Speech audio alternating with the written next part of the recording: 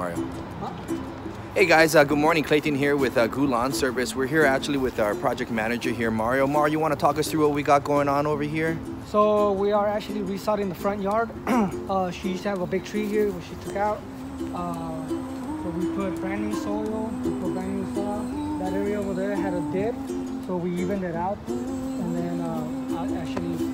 Put brand new sign there. Did a couple hedge trimming, making the flower beds look nice and getting it ready for the spring coming up. All right, guys. Well, you guys heard it from our project manager, Mario himself, on this project build that we got over here. Steve here, he's our specialized sod technician. Steve, how's it looking?